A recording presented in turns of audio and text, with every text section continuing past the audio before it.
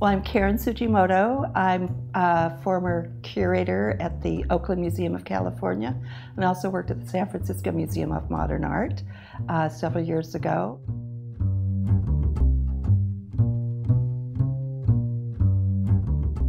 You know, in my understanding of her work as I've uh, looked at her paintings, talked to various people, I think that she set an important role model about what it is to be an artist not so much what she painted, but she believed in what she wanted to communicate and a commitment to her art, regardless of financial reward and the struggles of being a parent and working and going through marriages and heartbreak, um, things like that. But always at the core, her art. I think her art was her anchor. And for me, I really respect that because everybody goes through life kind of wobbling along and you just have to find out where is your passion, what is your anchor. And I think that's what I really respect about Joan and what I believe she shared with her friends, colleagues, and students that studied with her.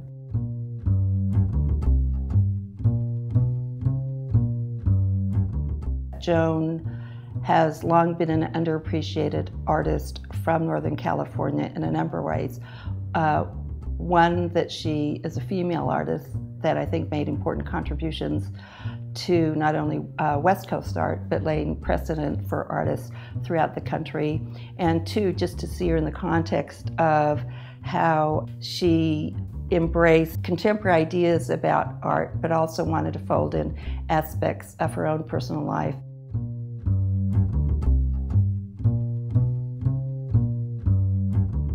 I have puzzled about why Joan has been dropped out of a lot of the histories of female artists. And I think on one hand, it may be because uh, she was seen as part of um, a male dominated art community back in the 50s and 60s. And then when she started doing her more reflective self portraits, perhaps they weren't as rigorous or as scathingly introspective as a lot of feminists were doing at that time.